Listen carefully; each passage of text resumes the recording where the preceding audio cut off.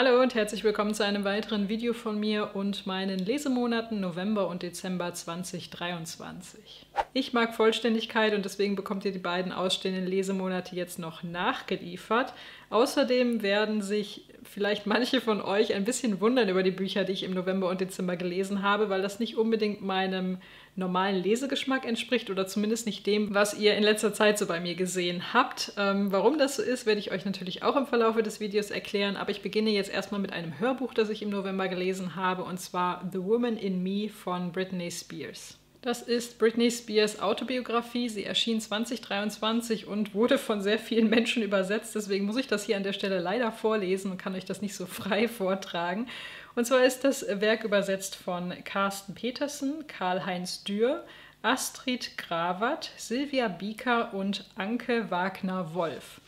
Ich kann nur vermuten, warum so viele ÜbersetzerInnen an dem Werk beteiligt waren. Ich denke, die deutsche Übersetzung ist wirklich kurz nach der Veröffentlichung des englischsprachigen Buches herausgekommen und vermutlich hat man dadurch Zeit gespart. Ich habe mich für das Hörbuch entschieden, das übrigens von Jodie Alborn eingesprochen wurde, weil ich bereits im Vorfeld gehört und gelesen habe, dass die Sprache in diesem Buch sehr einfach ist und ich höre solche Bücher dann lieber, denn bei geschriebener Sprache habe ich doch tendenziell höhere Ansprüche als bei der gesprochenen und aus dem Grund hat das für mich ganz gut gepasst. Britney Spears ja, erzählt wirklich ihre Lebensgeschichte. Es beginnt in ihrer Kindheit. Sie erzählt von ihrer Familie, wie sie aufgewachsen ist, wie so die finanzielle Situation war, die Beziehung zu ihren Eltern, aber nachher auch als ihre Schwester geboren wurde, also wie dieses geschwisterliche Verhältnis ausgesehen hat. Natürlich spricht sie davon, dass sie schon seit frühester Kindheit gerne gesungen und getanzt hat, dass das von vornherein klar war für sie, dass sie diesen Beruf einschlagen möchte. Dann geht es um die ersten Erfolge, die ersten Kontakte in die Musikindustrie, wie sie da behandelt wurde, wie sie die ersten Alben produziert hat und dann auch ihren Durchbruch hatte, wie sie vermarktet wurde. Alles, was ihr in der Branche widerfahren ist natürlich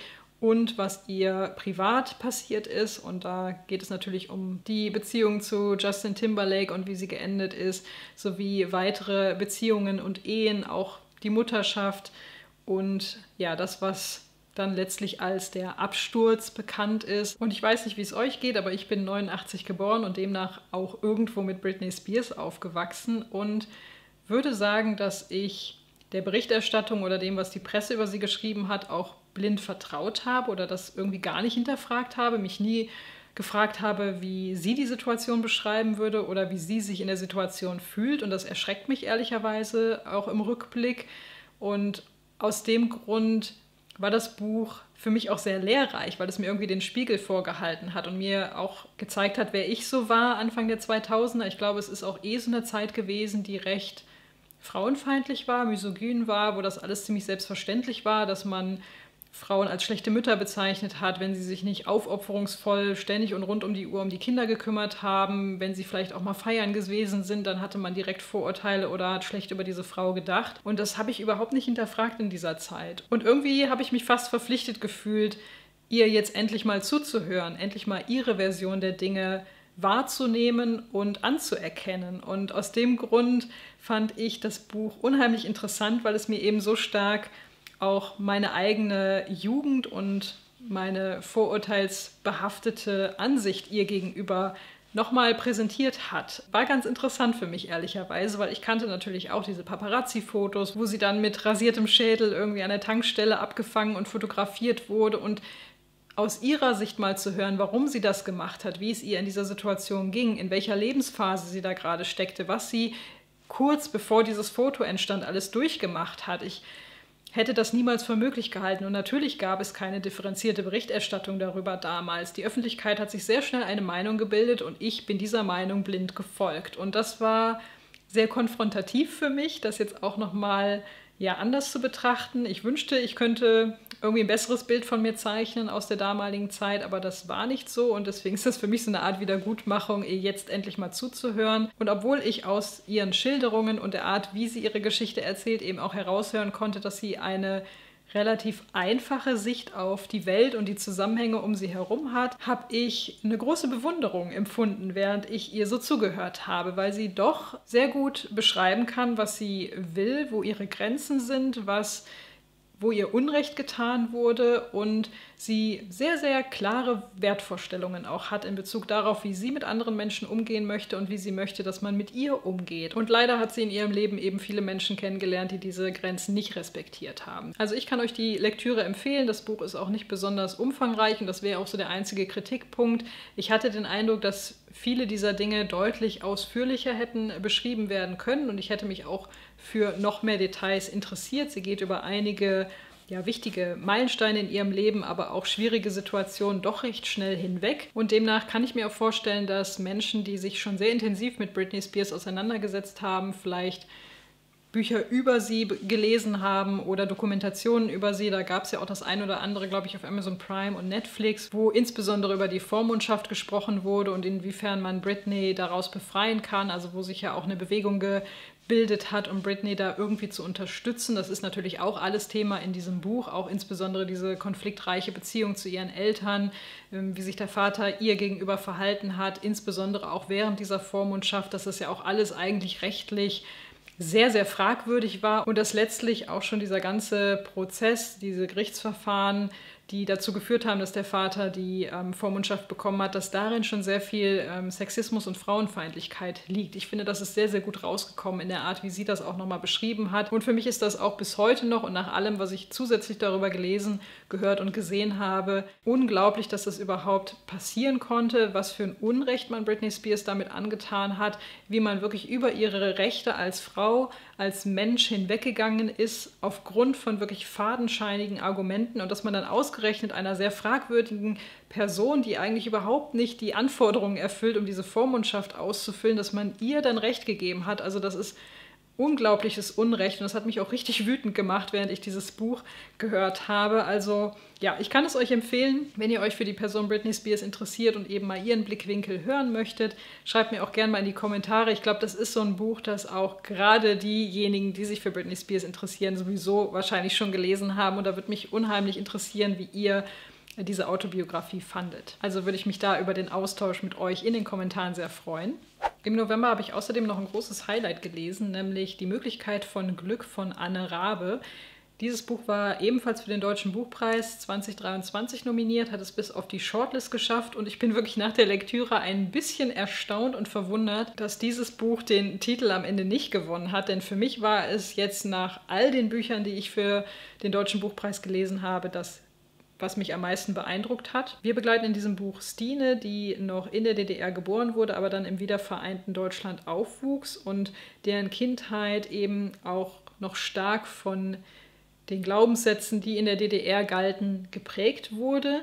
Sie gerät dann als erwachsene Frau in einen Konflikt mit ihrer Familie. Sie hinterfragt das, was ihre Familie für richtig hielt, will vor allem bei der Erziehung ihrer eigenen Tochter Dinge anders angehen und sie stellt sich auch vermehrt die Frage, welche Schuld hat die Familie, die eigene Familie aufgeladen? Also was waren eigentlich die Berufe, die ihre Eltern ähm, ausgeübt haben im System der DDR, aber auch was hat der Großvater während und nach dem Krieg eigentlich getan? Und sie kontaktiert dafür auch Archive, um einfach Dokumente zu sammeln, um da etwas mehr herauszufinden. Und letztlich ist es keine zusammenhängende oder chronologisch erzählte Geschichte, sondern das sind so einzelne Vignetten oder Reflexionen, einzelne Erinnerungen oder Szenen aus der Kindheit, aus der Jugend und Fakten zur DDR, zur deutsch-deutschen Geschichte. Man spürt hier so einen gewissen Wunsch nach Aufarbeitung und auch Wiedergutmachung, denn sie ist wirklich auch unnachgiebig in Bezug auf ihre Eltern. Die Mutter hat zum Beispiel in der DDR als Erzieherin gearbeitet und es wird nach und nach klar, dass sie dabei auch Methoden angewendet hat, die man heute sicherlich auch unter Missbrauch zählen würde. Und ähm, es wird von den Umerziehungsheimen auch gesprochen, in die Kinder gesteckt wurden in der DDR, um sie dann auf eine berufliche Zukunft im System vorzubereiten und was dort dann zum Teil auch an Disziplinierungsmaßnahmen angewendet wurde. Generell geht es auch viel um Gewalt in der Zeit der DDR, aber auch unmittelbar danach. Es ist auch ein Buch, das die Baseballschlägerjahre zum Beispiel sehr klar benennt und beschreibt. Das ist mir auch sofort positiv aufgefallen, weil ich darüber so selten lese. Es geht oft um diesen Ost-West-Konflikt, aber weniger um die konkrete Gewalt, die dort zu beobachten war in dieser Zeit nach der Wende. Und obwohl ich ja selber gar nicht in der DDR groß geworden bin, hatte ich trotzdem das Gefühl, mich hier in diesem Buch sehr gut wiederzufinden. Vielleicht auch hier wieder, weil die, das Geburtsjahr von Stine nicht weit von meinem eigenen entfernt ist. Hier werden halt auch so Dinge beschrieben wie ähm, der erste Amoklauf an einer deutschen Schule in Erfurt und wie das medial aufgenommen und besprochen wurde und wie Stine das damals in ihrem Alter erlebt hat, wie dort an den Schulen darüber gesprochen wurde, das, das war so nah an meiner eigenen Erfahrung dran, dass ich da wirklich atemlos gelesen habe und wirklich fast die ganze Zeit am Nicken war, weil ich dachte, ja, genauso habe ich das auch empfunden. Und das fanden wir total absurd als Kinder, das auf ähm, Ballerspiele zu schieben oder die Art und Weise, wie das weggeschoben wurde, die Verantwortung, die gesellschaftlich da eigentlich hintersteckt oder eben auch so diese Nachwirkungen von der Wiedervereinigung, dass das da mit reingespielt haben könnte, das wurde alles gefühlt in der Öffentlichkeit überhaupt nicht besprochen und stattdessen hat man sich so stark auf diesen Aspekt der Videospiele konzentriert, um, um das irgendwie abzuhandeln und daran nochmal erinnert zu werden, beziehungsweise in diesem Buch auch das Gefühl zu haben, dass das, was ich damals empfunden und gedacht habe, wirklich eins zu eins auf diese Seiten äh, gekommen ist. Das fand ich total faszinierend, hat mir sehr, sehr viel Spaß gemacht. Das Buch versucht Unrecht zu benennen und aufzuzeigen. Es ist der Gegenversuch zu dieser typischen Haltung, dass man ja versucht, das wegzuschieben, so zu tun, als wäre man selber nie involviert gewesen, als hätte die eigene Familie damit nichts zu tun. Also, dass alle sich einig darüber sind, dass ganz schreckliche Dinge passiert sind in dieser Zeit und auch im, im Zweiten Weltkrieg, aber dass die eigene Familie damit auf keinen Fall was zu tun hatte. Das waren alles Rebellen und Widerstandskämpfer, die sich dagegen aufgelehnt haben.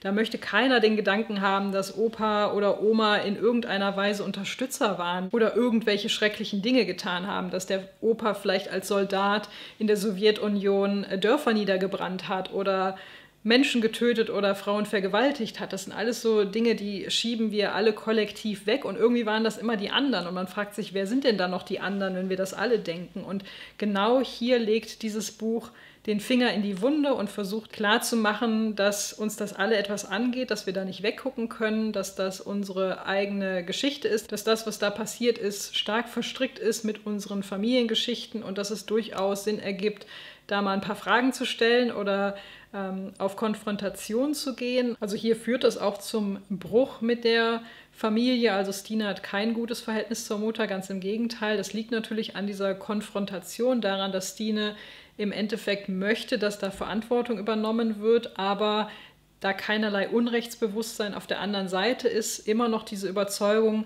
ja, wir haben doch alles richtig gemacht und wir waren sowieso das bessere System und die eigene Schuld eben gar nicht anzuerkennen. Und das macht Stine natürlich wahnsinnig, aber sie übernimmt letztlich dann auch die Verantwortung, das soweit aufzuarbeiten, diese eigene Familiengeschichte und da eben nicht wegzuschauen oder sich das irgendwie schön zu reden. Und gespickt sind diese sehr persönlichen Reflexionen und Erinnerungen dann aber auch immer mit zeitgeschichtlichen Fakten, die das Ganze auch nochmal in Kontext setzen oder Statistiken. Zum Beispiel, dass die Anzahl an Kindstötungen eine bestimmte Zeit lang einmal doppelt so hoch waren wie in den westlichen Bundesländern und dann sogar für einen bestimmten Zeitraum oder in 2006 viermal so hoch war. Und ähm, ja, was da alles mit reinspielt, woran das liegt und so weiter, das bringt sie dann auch nochmal mit in die Geschichte und dadurch ergibt sich tatsächlich eine Art Gesellschaftsbild dieser Zeit, was ich schon vom Rechercheaufwand her großartig finde, aber was genau das ist, was ich eigentlich suchte, als ich mal in irgendeinem Video sagte, ich möchte mich ein bisschen mehr mit der DDR und ähm, dem wiedervereinten Deutschland so kurz nach der Wende beschäftigen, weil hier wird einem sehr, sehr viel Persönliches geliefert, was diesen, diese Möglichkeit bietet, sich da auch selbst wiederzufinden oder Parallelen zu entdecken, aber auch sehr viel eben hartes Faktenwissen, das einem Kontext dazu liefert und irgendwie verdeutlicht, wie es damals war zu dieser Zeit und was für Probleme die Gesellschaft zu dieser Zeit hatte und wo diese Probleme eventuell herkamen. Und ja, großartig, wie das hier alles zusammenkommt in diesem Buch. Es war für mich wirklich ein großes Lesehighlight. Ich habe das sehr, sehr gerne gelesen. Dadurch, dass es so fragmentarisch ist, hatte ich hin und wieder ein bisschen Schwierigkeiten, das zeitlich einzuordnen, denn sie springt. Also mal kommt eine Erinnerung aus der Kindheit vor, dann ist sie in der Jetztzeit und schreibt irgendjemandem aus dem Archiv und möchte Akten über den Großvater sammeln, dann springt sie in ihre Jugend oder hat irgendwie die Heimatstadt vor Augen, entweder in der jetzigen Zeit oder damals. Und manchmal war es für mich ein bisschen schwierig, jetzt einzuordnen, wo ich mich gerade zeitlich befinde. Das ist aber auch gleichzeitig irgendwie ein Vorteil von diesem Buch, denn es wurde niemals langweilig. Also es war nie so, dass man sich zu lange an einer an einem Zeitpunkt, an einem Ort oder mit einem Thema beschäftigt hat. Man ist immer wieder auch zu anderen Themen gekommen und dadurch ähm, war es auch eine sehr abwechslungsreiche Lektüre sehr gehaltvoll, dadurch, dass da für mich so viel drin steckte. Wie gesagt, ich habe mir unfassbar viele Notizen gemacht und ich kann mir gut vorstellen, das Buch erneut zu lesen, um wirklich alle Details da rauszuziehen. Aber für mich ist das äh, ein großes Highlight gewesen aus dem vergangenen Jahr und ein Buch, das ich euch allen nur empfehlen kann. Dann habe ich den sechsten Sammelband der Monstrous Comic-Reihe gelesen. Ich werde natürlich nicht besonders viel zum Inhalt sagen, sondern nur das, was euch nicht spoilert, aber euch einen Eindruck davon gibt, inwiefern ich noch zufrieden bin mit der Reihe. Dieser Sammelband endet mit einem enormen Cliffhanger. Ich bin sehr, sehr froh, dass ich mittlerweile Band 7 und Band 8 hier habe, damit ich erfahre, wie es damit weitergeht. Hier passiert am Ende etwas, womit ich gar nicht gerechnet habe, was irgendwie auch positiv ist, weil ich dachte, dass die Reihe mittlerweile eher so ein bisschen vor sich hin plätschert. Mir gefällt der Stil weiterhin sehr gut und hier sind viele wunderschöne Panels und Situationen und Szenen drin. Da kann ich also auch nicht meckern. Es ist auch so, dass die Protagonistin wieder charakterlich einen Sprung macht oder sich weiterentwickelt. Also auch hier kann ich zumindest erkennen, dass sich etwas tut. Ganz allgemein gesagt habe ich aber zunehmend das Gefühl, dass hier extra keine gravierenden Entscheidungen für die Geschichte getroffen werden. Also ich habe das Gefühl, ja, es gibt dann Kriege, Auseinandersetzungen, spannungsgeladene Situationen. Es ist auch mal so, dass sich die Gruppe trennt. Aber dann kommt sie irgendwie wieder zusammen. Es stirbt auch niemand, der jetzt wirklich ganz relevant ist für die Geschichte. Und dann ist der Krieg vorbei und irgendwie hat man immer wieder diesen Status quo erreicht. Und wenn man dann mal so einen Schritt zurücktritt, dann fragt man sich, ja, sind wir jetzt überhaupt irgendwie einen Schritt weitergekommen oder eigentlich nicht? Und das ist für mich so etwas, das man gerne macht, um eine Serie, eine Geschichte in die Länge zu ziehen, indem man eben so tut, als würde ganz viel passieren, aber immer dann, wenn man von diesem Detaillevel einmal einen Schritt zurücktritt und sich das übergeordnet anguckt, dann merkt man, dass da eigentlich gar nichts passiert ist, dass es keine gravierenden Fortschritte in der Geschichte gab. Und das nervt mich zunehmend. Dadurch ist der insgesamte Spannungsbogen für die Geschichte für mich nicht mehr vorhanden. Also es gibt dann halt innerhalb der Bände ja, spannende Situationen, wie gesagt, oder einzelne Konflikte, die gelöst werden müssen, aber auf dem Gesamtplot hat sich eigentlich nichts getan. Und ich weiß nicht, wie ewig man damit noch weitermachen möchte, um ehrlich zu sein. Also ich kann mir nicht vorstellen, dass am Anfang der Geschichte irgendwas von dem, was hier in diesem Band passiert, vorgesehen war. Und ich habe demnach zunehmend kein Gefühl mehr dafür, sind wir jetzt in der Mitte der Geschichte, sind wir so kurz vorm Ende. Also dieser Spannungsverlauf, der sich natürlicherweise vom Anfang bis zum Ende einer Geschichte ergibt, den kann ich überhaupt nicht einschätzen. Ich muss jetzt also langsam eine Entscheidung treffen, wie lange ich mir das noch gefallen lasse. Ich habe jetzt den Sammelband 7 und 8 noch hier. Die beiden werde ich auch noch lesen, aber wenn mich die nicht komplett umhauen und versöhnen, dann breche ich die Reihe ab und werde sie vermutlich sogar aussortieren. Ich bin ein Freund davon, wenn von vornherein feststeht, wie viele Issues oder Sammelbände eine Comicreihe haben wird. Ganz einfach, weil die Geschichte genau das hergibt und nicht mehr und nicht weniger. Und dadurch, dass dieses ähm, Prinzip hier offensichtlich nicht erfüllt wird, oder zumindest empfinde ich es nicht so, ähm, wird es meinen Ansprüchen auch nicht mehr gerecht und dann ziehe ich die Konsequenz. An sich hat mich dieser Band noch gut unterhalten, er hat mir auch gut gefallen, aber ich werde zunehmend ungeduldig und fühle mich auch so ein bisschen veräppelt als Leserin, ehrlicherweise. Hier würde mich auch mal interessieren, falls ihr die Reihe auch verfolgt, wie es euch damit geht. Habt ihr den gleichen Eindruck? Und wird das noch besser? Also habt ihr vielleicht auch Sammelband 7 und 8 schon gelesen und könnt mir da etwas berichten? Dann freue ich mich über den Austausch in den Kommentaren. Ansonsten werdet ihr sicherlich im Verlaufe von 2024 meine Entscheidung dazu hören denn ich werde keinen weiteren Sammelband mehr vorbestellen. Und damit hat die Reihe jetzt noch zwei Sammelbände Zeit, um mich nochmal von sich zu überzeugen. Und ansonsten, ja, ist das leider eine dieser Comicreihen, die gut beginnen, aber dann irgendwie stark nachlassen. Und damit kommen wir jetzt zu den Büchern, bei denen ich am Anfang des Videos gesagt habe, ihr werdet euch vielleicht etwas wundern, was ich da lese. Und ich muss jetzt auch mal schauen, wie ich euch das am besten erkläre. Also ich habe irgendwie das Gefühl, ich komme in Erklärungsnot, wenn ich das versuche, aber ich bin mittlerweile in so einer Phase, wo ich auch einfach denke, was soll's? Ähm, wenn es mir Spaß macht, macht es mir Spaß. Ich werde jetzt nicht anfangen, mich dafür zu schämen oder das für euch zu verheimlichen. Deswegen, ähm, ja, ich blende euch mal diese wunderschönen Cover ein, die ich absolut schrecklich finde. Und ich äh, hoffe, ihr seid da meiner Meinung. Also ich kann mir wirklich keinen Menschen auf diesem Planeten vorstellen, der diese Cover sieht und sich denkt, also dieses Buch möchte ich aber lesen. Ähm, ich persönlich finde diese Gestaltung wirklich unterirdisch, aber ich kann es nicht ändern, so sehen sie nun mal aus. Und das sind die Bücher einer sehr langen Fantasy-Reihe und die Reihe heißt Black Dagger Brotherhood und es sind, glaube ich, über zehn Teile erschienen im Englischen, vielleicht sogar noch mehr.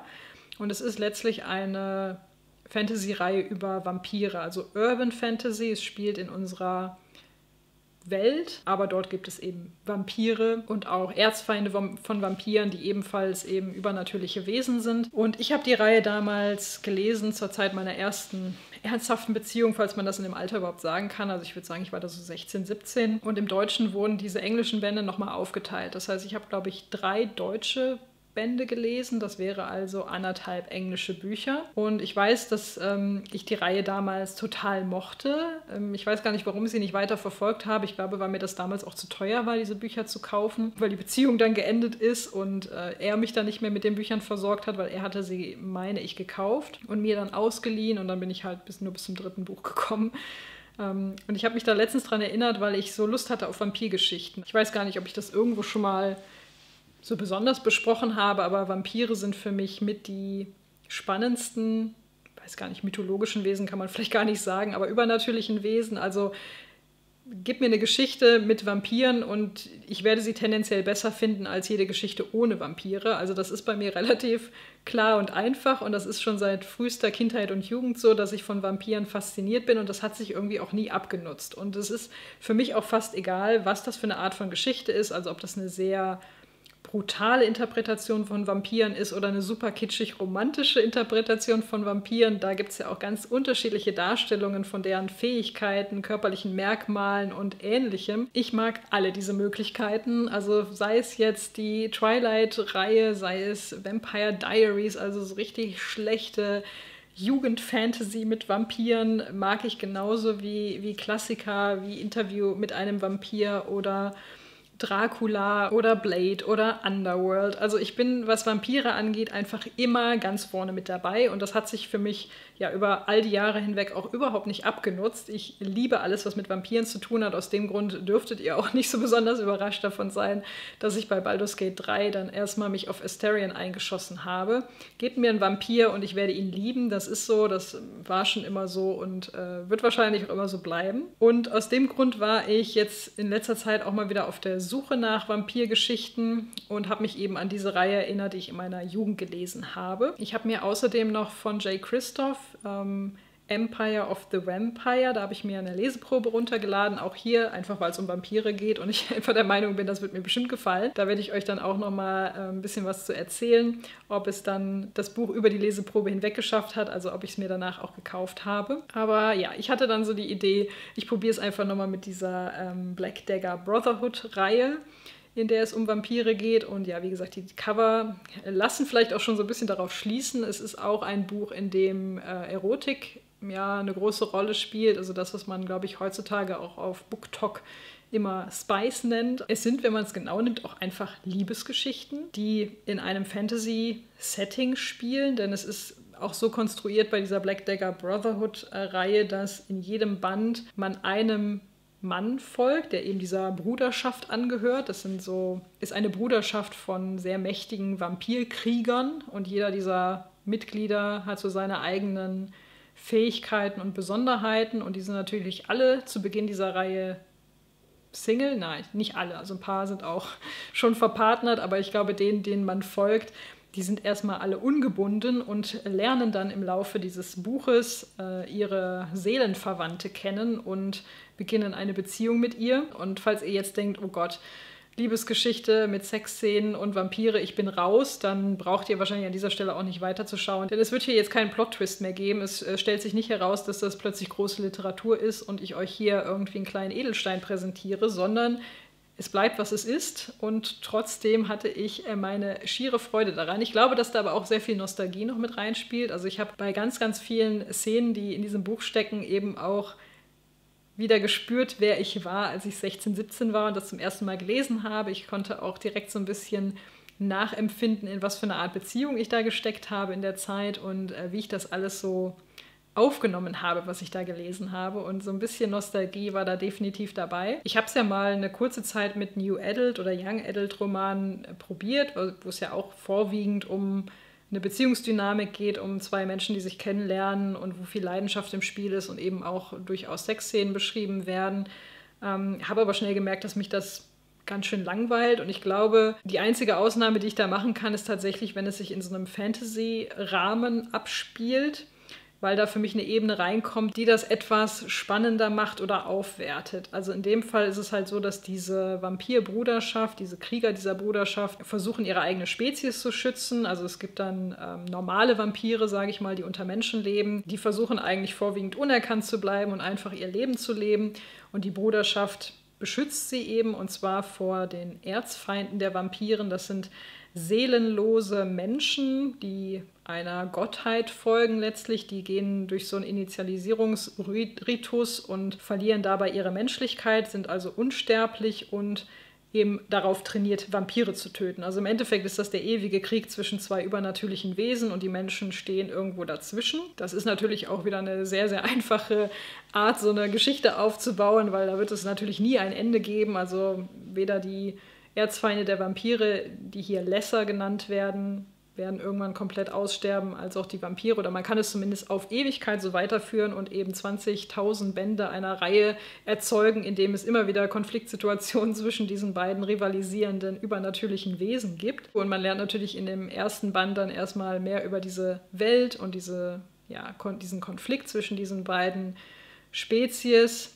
und was die Vampire jetzt in dem Fall auch besonders macht. Also hier gibt es nochmal so ein paar Aspekte, die vielleicht ein bisschen ungewöhnlich sind, auch für Vampirgeschichten. Zum Beispiel ist es so, dass die ähm, Vampire hier nicht von Menschenblut trinken, sondern nur von ihrer eigenen Spezies. Denn menschliches Blut ist zu schwach, um die ähm, Vampire hier bei Kräften zu halten. Ich finde das sehr ungewöhnlich als Interpretation, aber natürlich muss man sich vielleicht auch mal was Neues einfallen lassen, wenn man die hunderttausendste Geschichte über Vampire schreibt. Ich denke, der Hauptgrund für diese Entscheidung ist der moralische Aspekt, denn in dem Moment, wo die Vampire keine unschuldigen Menschen angreifen, um sich von ihnen zu ernähren, sind sie natürlich auch weniger moralisch fragwürdig. Also es ist, glaube ich, eher eine Entscheidung, um die Sympathie zu steigern. Ich habe eh den Eindruck, dass das auch so eine Reihe ist, die Menschen ansprechen soll, die vielleicht sonst mit Vampiren gar nicht so viel anfangen können, aber gerne Liebesromane lesen, denn es ist so, dass hier alle Klischees erfüllt werden, die sich, glaube ich, Leser dieser Bücher auch irgendwo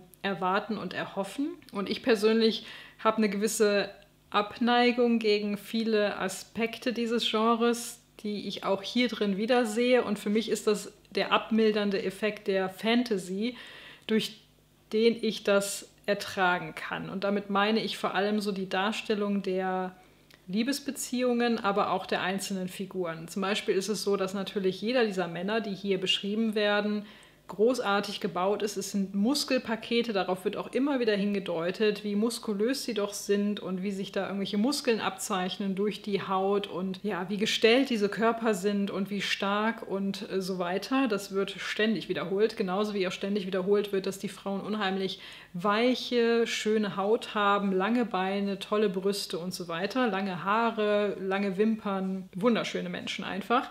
Und das ist auch so was, was ich in dieser Art von Genre ständig immer wieder sehe, dass da ein sehr schmales äh, Schönheitsideal immer wieder reproduziert wird. Und das ist in dieser Reihe ganz genauso.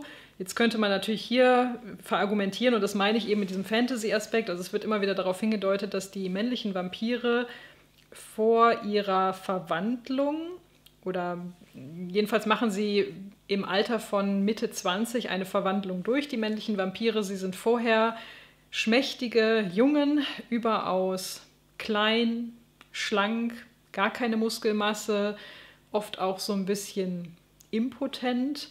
Auf jeden Fall werden sie auch von der Frauenwelt komplett ignoriert und dann gehen sie mit Mitte 20 durch den Verwandlungsprozess und ich weiß nicht genau, wie das körperlich äh, ablaufen soll. Ich stelle es mir sehr schmerzhaft vor, aber auf jeden Fall wachen sie dann auf, sind äh, knapp zwei Meter groß, äh, muskelbepackt und ähm, das genaue Gegenteil von dem, was sie vorher waren. Und unter dem Aspekt kann man dann ja, sich irgendwie einreden, dass das nicht so billig ist, wie es tatsächlich ist, weil das dann irgendwie dieser Spezies und der Art und Weise, wie sie ähm, funktioniert, geschuldet ist. So, bei einem ganz normalen New Adult oder Young Adult Roman, der in unserer normalen Welt spielt, mit unseren normalen Naturgesetzen und mit uns als Menschen, funktioniert das für mich im Kopf einfach noch schlechter, als es sowieso schon funktioniert. Und genauso ist das in Bezug auf die äh, Beziehung, die sich danach ergibt. Was ich dem der ganzen Reihe zugutehalten muss, ist, dass es nicht diese toxische Beziehungsdynamik ist, die ja auch oft romantisiert wird in dieser Art von Genre. Also da ist es ja auch oft so, dass die Männer dann wirklich Arschlöcher sind, die Frauen schlecht behandeln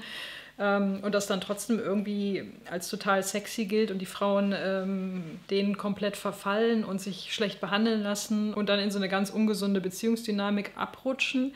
Das ist hier tatsächlich nicht so. Also obwohl diese Bedrohlichkeit da ist, obwohl erstmal alles dafür spricht, dass es in die gleiche Richtung geht, ist es hier tatsächlich so, dass sich ganz oft auch diese Männer unsterblich verlieben und ehrlich verlieben und die Frauen einfach ein bisschen Zeit brauchen, sich mit dieser Situation zu arrangieren und am Ende auch diejenigen sind, die Entscheidungen treffen. Und am Ende ist es auch tatsächlich das, was man als romantische Liebe oder als sogar über die Maßen hinweg romantische Liebe bezeichnen würde. Also das ist schon auch wieder so übers Ziel hinaus. Also das ist nicht einfach eine Beziehung, die sich entwickelt, sondern das sind dann wirklich zwei, die füreinander bestimmt sind, die eine große Liebe, neben der es keine andere geben kann. Es ist dann auch nicht so, dass die Männer sich nur verlieben, sondern sie prägen sich richtig bis an ihr Lebensende auf diese Frau und da kann nie wieder irgendetwas anderes dazwischen. Und all diese Dinge zusammen bedeuten für mich, ohne dieses Fantasy-Setting würde ich diese Reihe nicht lesen.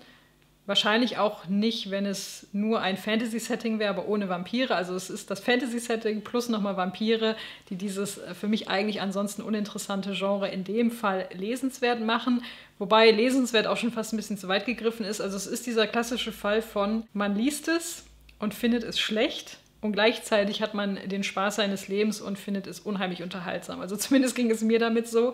Ich habe die Bücher in kürzester Zeit gelesen. Ich glaube, dass da dieser Nostalgiefaktor eine Rolle spielt. Ja, es war einfach sehr unterhaltsam. Es war actionreich, also es gibt ordentliche Gewaltszenen auch, wenn die Kämpfe stattfinden zwischen diesen Vampirkriegern und ihren Erzfeinden. Dann hat man diese romantische Komponente, wo gerade auch so eben zu Beginn dieser Beziehung auch noch viele Konflikte bestehen, wo beide auch noch gar nicht so richtig wissen, was sie voneinander halten sollen und ja, wo vor allem Leidenschaft eine große Rolle spielt und dann entwickelt sich diese Beziehung eben nach und nach und am Ende des Buches kommen sie zusammen. Also das ist jetzt auch nicht so, dass es stark abweicht von diesem klassischen Prinzip einer Liebesgeschichte. Und wie gesagt, es ist am Ende auch nicht so, dass man da irgendwelche fragwürdigen Beziehungsdynamiken sieht, sondern es ist am Ende wirklich die große und einzige Liebe. Wie gesagt, das ist schon fast ein bisschen überhöht in der ganzen ähm, Tragweite, aber es ist eben nicht dieses, ja, sie ist eigentlich in einer toxischen Beziehung, aber findet das ganz geil, sondern es ist tatsächlich so, dass die beide füreinander bestimmt sind und da irgendwie ihren Seelenverwandten finden.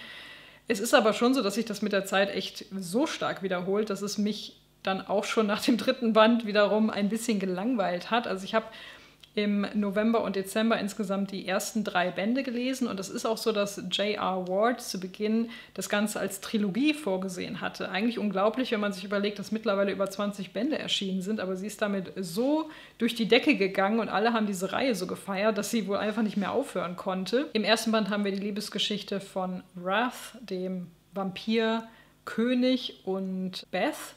Im zweiten Teil die Liebesgeschichte von Rage und Mary. Und im dritten Teil die Liebesgeschichte von Sadist und Bella. Auch das wieder die Namen der Vampirmänner. Das ist wirklich so. Ja, cringe ist wahrscheinlich wirklich das richtige Wort. Also die heißen halt Rage, Terror, Wrath, Torment. Ich weiß nicht, ich kann mich nicht verteidigen. Ich weiß nicht, was ich dazu sagen soll, aber ja, so ist es nun mal. Also hier sind sehr, sehr viele Klischees erfüllt und trotzdem hat es mich wirklich gut unterhalten. Ich habe mir jetzt tatsächlich noch den vierten Band runtergeladen. Also ich lese die auch als englische E-Books. Ich brauche die nicht im Regal stehen haben. Das wird jetzt auch das letzte Mal sein, dass ich die lese. Aber ich habe mir den vierten Band jetzt doch noch runtergeladen, obwohl ich erst dachte, ich lese wirklich nur diese initiale Trilogie, weil das waren jetzt auch wirklich die Bände, mit denen ich diesen Nostalgiefaktor verbinde. Aber im vierten Band geht es noch um Figuren, die ich auch schon kenne. Ich glaube, danach werden neue Figuren eingeführt und da brauche ich jetzt ehrlicherweise nicht mehr weitermachen. Aber es gibt noch so eine offene Liebesbeziehung, die auch schon, glaube ich, im ersten oder zweiten Band beginnt, die aber bisher noch keine Auflösung gefunden hat. Und die wird jetzt im vierten Teil aufgelöst und das möchte ich ganz gerne noch lesen und danach höre ich, glaube ich, auch wieder auf mit der Reihe, dann hat sich das.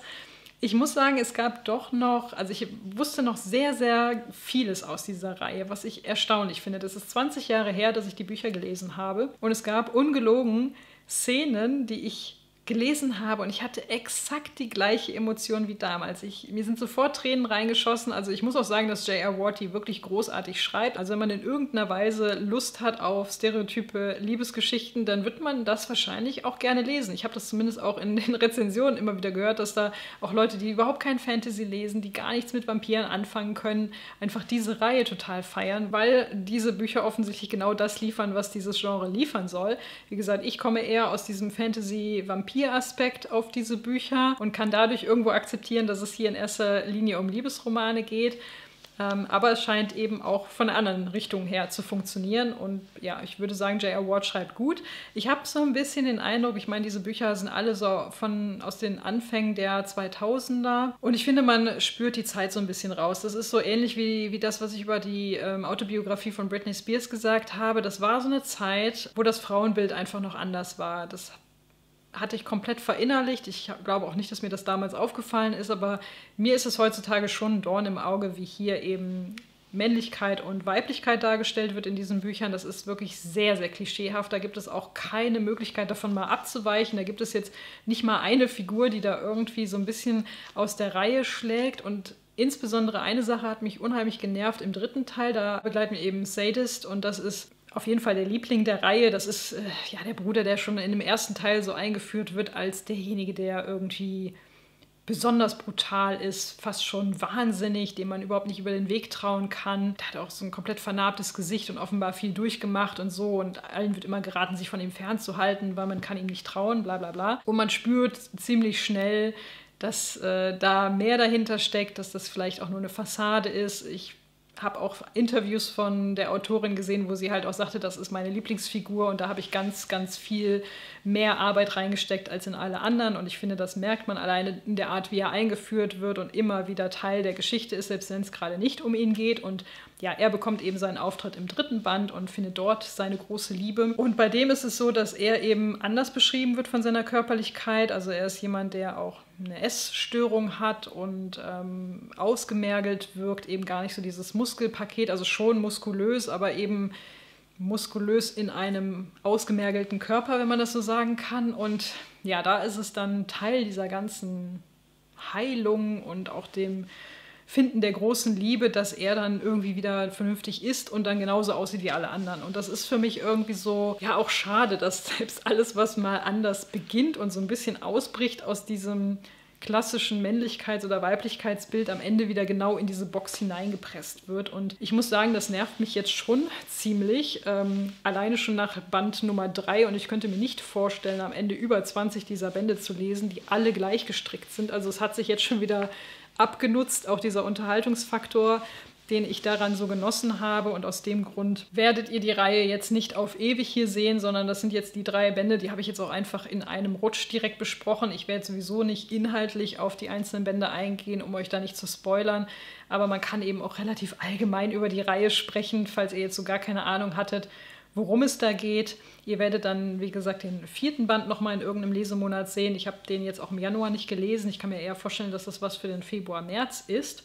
Und dann werde ich an der Stelle das Ganze auch abbrechen. Und ich hatte jetzt auch kein Interesse, die anderen Reihen von J.R. Ward zu lesen. Sie hat ja auch dann tatsächlich Nicht-Fantasy-Liebesromane, wahrscheinlich in einem ähnlichen Stil geschrieben. Das, wie gesagt, wäre gar nichts für mich. Aber auch insbesondere im dritten Teil habe ich gemerkt, dass dieser Fantasy-Aspekt um diese Liebesgeschichte herum immer dünner wurde. Also im dritten Band hatte ich den Eindruck, war es 80% Liebesgeschichte und 20% Fantasy-Vampirroman mit Action und allem Möglichen und einem übergeordneten Plot, während das im ersten Band, würde ich sagen, noch so 50-50 war. Und ja, ich lese das nicht wegen der Liebesgeschichte, deswegen wurde es mir im dritten Band jetzt auch ein bisschen zu viel und ich bin gespannt, wie sich der vierte entwickelt, weil wenn sie immer mehr diesen Fantasy-Aspekt rausnimmt, dann ist es für mich auch aus dem Grund nicht so geeignet. Und ganz grundsätzlich gilt, wenn ihr mit detaillierten und expliziten Sexszenen nicht zurechtkommt, dann solltet ihr auch nicht zu diesen Büchern greifen. Ich persönlich habe irgendwie einen Unterschied, ob ich die auf Englisch oder auf Deutsch lese. Also im Englischen kann ich das total gut lesen und das ist mir nicht unangenehm oder kommt mir blöd vor. Wenn ich das Ganze auf Deutsch lese, dann wirkt das für mich schon sehr befremdlich. Ich weiß nicht genau, woran das liegt. Von daher, ich lese das Ganze auf Englisch. Da machen mir die Szenen sogar Spaß und gehören für mich eben auch in dieses Genre dazu. Also mir bringt das nichts, wenn sich die ganze Zeit da offensichtlich eine sexuelle Spannung aufbaut zwischen den beiden.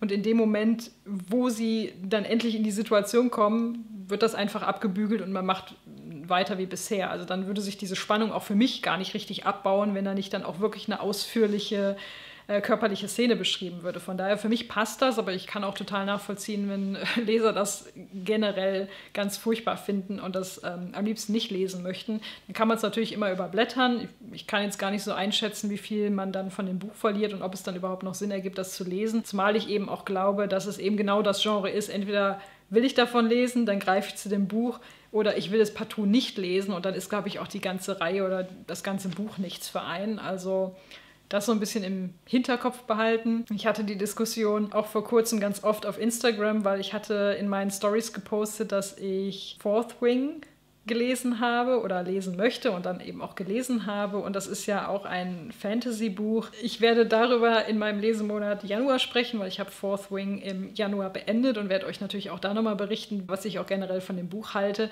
Aber jetzt so im direkten Vergleich war das halt tatsächlich irgendwie jugendlich. Also wenn ich versuchen würde, euch das zu erklären, ich habe mir tatsächlich die äh, besagte Szene von Fourth Wing in meinem Kopf vorgestellt und visualisiert und am Ende konnte ich wirklich nur lachen, weil das einfach so unwahrscheinlich ist und so seltsam. Also das ist halt unfreiwillig komisch, sage ich jetzt mal. Und bei den ähm, expliziten Szenen aus dieser Black Dagger Brotherhood-Reihe würde ich sagen, ist das schon nicht realistisch. Denn natürlich ist das der beste Sex, den die jemals hatten, obwohl die noch nie miteinander Sex hatten und eigentlich überhaupt nichts wissen über die Bedürfnisse des anderen. Aber intuitiv wissen sie genau, was sie tun müssen und es ist einfach ne, der beste Orgasmus und so weiter und so fort. Also realistisch kann man das auch nicht nennen, aber von dem, was beschrieben wird, ergibt es irgendwie mehr Sinn als das, was ich bei Fourth Wing gelesen habe. Und äh, ja, ich weiß jetzt gar nicht, was besser ist. Das eine ist auf jeden Fall lustiger, aber vermutlich macht es gar keinen Sinn, dass ich jetzt versuche, das miteinander zu vergleichen oder euch zu erklären. Wahrscheinlich denkt ihr euch auch schon so, oh mein Gott, das will ich alles niemals lesen, eben weil diese Szenen drin sind. Da könnt ihr mir auch gerne mal schreiben, wie ihr zu solchen Sachen steht in Büchern. Äh, ist euch das immer lieber, wenn das ausgespart wird? Lest ihr das gerne? Lest ihr das gerne in bestimmten Genres oder ja, wie gesagt, eben pauschal überhaupt nicht? Um das ganze Thema jetzt endlich mal abzuschließen, wissen, schreibt mir gerne eure Empfehlungen in Bezug auf Vampirgeschichten in die Kommentare. Also wie gesagt, ich kann von Vampiren nicht genug bekommen, ist mir auch völlig egal, welches Genre, ob das jetzt auch eine Liebesgeschichte ist oder eher was Actionreiches. Ja, vielleicht nicht unbedingt Kinder, Jugend, also ich mag es schon gerne Erwachsene, aber wenn ihr da irgendwelche Tipps für mich habt, irgendwelche tollen Vampirgeschichten, die ihr total mochtet, wenn ihr vielleicht auch Vampir-Fans seid, dann schreibt mir die gerne in die Kommentare. Ich bin da immer auf der Suche, ich kann davon einfach nicht genug bekommen. Und eigentlich müsste ich euch an der Stelle noch ein letztes Buch zeigen, das ich im Dezember gelesen habe. Das mache ich aber nicht, weil das einer der Titel ist, die ich mir aus dem Büchergilde-Programm für das erste Quartal 2024 ausgesucht habe. Und dieses Buch werde ich einfach mit den beiden anderen Autoren rezensieren. Ich denke, das Video kommt auch nächste Woche. Ich bin mir noch nicht ganz sicher, aber ihr werdet es früh genug mitbekommen. Das heißt, da werde ich euch wieder die drei Büchergilde-Titel rezensieren, die ich mir als Büchergilde-Botschafterin für das erste Quartal 2024 ausgesucht habe. Wenn ihr wissen wollt, welche Bücher ich da besprechen werde, könnt ihr mal auf Instagram vorbeischauen. Da habe ich das schon so ein bisschen angeteasert. Aber hier wird es natürlich die ausführlichen Rezensionen dazu geben und eben auch meine Empfehlungen bzw. eine Einschätzung davon, welches Buch ich euch ans Herz legen würde für euren Quartalskauf zum Beispiel. Und damit äh, würde ich jetzt sagen, ich habe, glaube ich, viel zu viel geredet. Ich habe auch das Gefühl, es war vollkommen unstrukturiert. Ich muss wirklich jetzt wieder ein bisschen Routine reinkriegen in meinen Videodreh, weil ich das Gefühl habe, wenn ich mich da mal vor die Kamera setze, dann weiß ich nicht, wo hinten und vorne ist und fange einfach an loszuplappern. Ich hoffe, das wird sich in der nächsten Zeit wieder ein bisschen fangen und ich komme zurück zu meiner eigentlich ja doch sehr strukturierten Herangehensweise. Aber das war jetzt gefühlt, wie man so schön sagt, all over the place. Verzeiht mir bitte, ich freue mich auf eure Kommentare, lasst mir gerne Feedback da. Habt ihr jetzt ein anderes Bild von mir, weil ich Vampir-Sexbücher lese oder ähm, passt das irgendwie ins Bild? Das würde mich auch interessieren. Und damit hoffe ich jetzt, euch hat dieses Video gefallen. Ich wünsche euch noch einen schönen Tag oder Abend, je nachdem, wann ihr es schaut und hoffe, wir sehen uns beim nächsten Mal. Bis dahin, tschüss.